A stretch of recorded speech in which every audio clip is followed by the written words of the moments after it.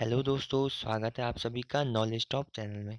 दोस्तों आज मैं अपना एक्सपीरियंस जो पर्सनल मेरा इंडियन आर्मी रैली भर्ती में रहा है उसको बताऊँगा शेयर करूँगा।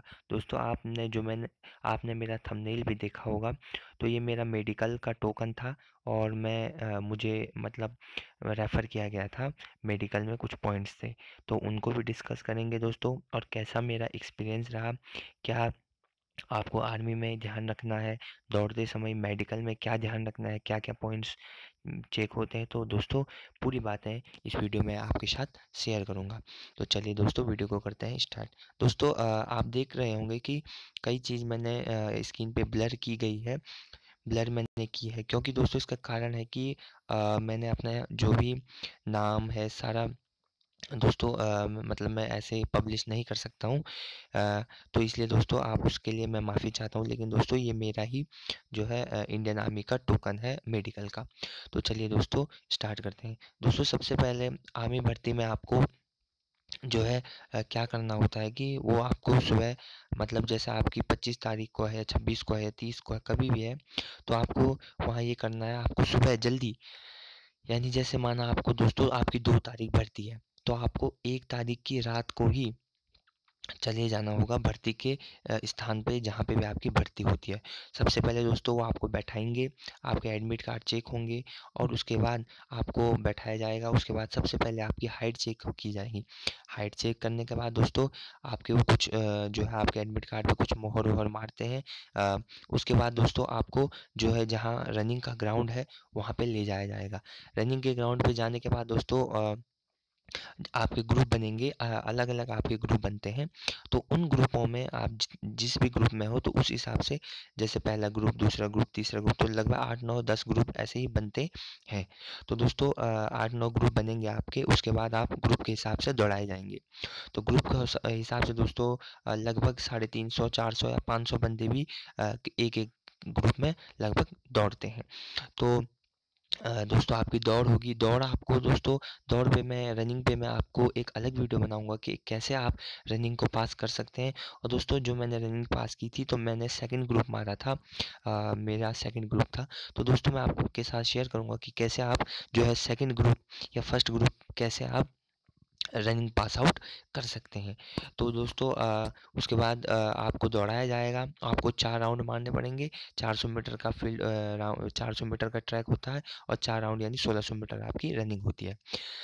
उसके बाद दोस्तों रनिंग कंप्लीट होने के बाद आपको जो है जो फ़र्स्ट ग्रुप में है वो फ़र्स्ट ग्रुप में जाएँगे और सेकंड ग्रुप वाले बंदे सेकंड ग्रुप में जाते हैं। उसके बाद आपकी फ़ोटो ली जाती है। फ़ोटो लेने के बाद दोस्तों आपकी फ़ोटो ली जाएगी, उसके बाद आपके हाथ पे मोहर जैसे मार दी जाएगी कि आपका फ़र्स्ट ग्रुप है या आपका सेकंड ग्रुप है। तो उसके बाद दोस्तों आपकी फ़ोटो ली जाएगी और उसके बाद देखा जाएगा कि आपका फ़र्स्ट ग्रुप है या दोस्तों आपका सेकंड ग्रुप है। फिर उसके बाद दोस्तों आपको जो है फ़िज़िकल टेस्ट के लिए बुलाया जाएगा।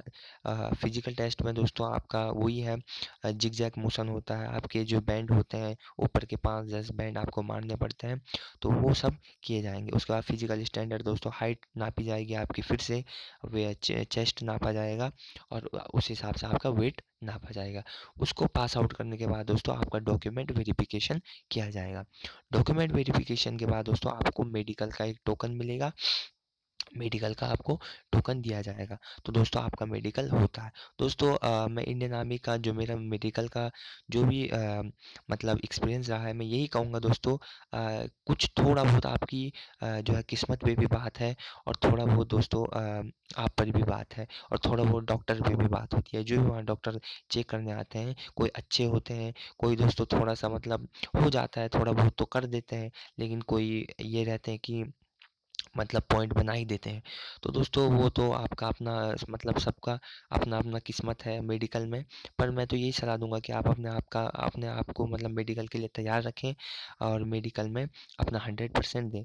तो दोस्तों मेरा मेडिकल हुआ और मुझे दो पॉइंट मिले हाइड हाइपर हाइड्रोसिस का यानी पसीने का और एलेक्सम टी एम जॉइंट यानी दांतों का। तो दोस्तों मेरा जो है दांतों का पॉइंट क्लियर हो गया था, लेकिन हाइपर हाइड्रोसिस में दोस्तों पसीने के कारण मेरा पॉइंट क्लियर नहीं हो पाया था और मुझे वहीं पर अनफिट कर दिया गया था। तो दोस्तों, ये था मेरा एक्सपीरियंस और दोस्तों मेडिकल पे मैं एक और अलग सी वीडियो बनाऊँगा। ये मैंने सिर्फ़ अपना इंट्रोडक्शन दिया है दोस्तों कि किस तरीके से क्या होता है। रनिंग पे मैं अलग बनाऊँगा मेडिकल पे अलग बनाऊँगा कि किस बातों का आपको ध्यान रखना है, किन बातों का आपको ध्यान रखना है, क्या गलतियाँ नहीं करनी है, क्या आप अगर आप में कोई कमी है तो आप उसे पूरा कैसे कर सकते हैं? तो दोस्तों, प्लीज़ अगर आपको ये वीडियो अच्छी लगी हो, कुछ जानकारी मिली हो तो प्लीज़ चैनल को लाइक, सब्सक्राइब ज़रूर कर दीजिएगा।